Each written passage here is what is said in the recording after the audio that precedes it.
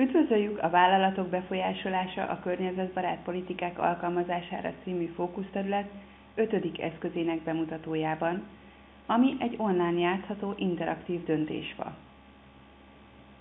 Motivációtól és döntési helyzettől függően körülbelül 10 perces játék, mely olyan szituációkat tartalmaz, amik bármikor a munkahelyén is felmerülhetnek. A téma természetesen itt is a környezettudatosság és fenntarthatóság. A döntésfa célja, hogy a munkavállalókat aktív szerepvállalásra ösztönözze a vállalat környezetbarát tevékenységei során. A döntésfa tanulságos és javíthat a dolgozói motiváción is.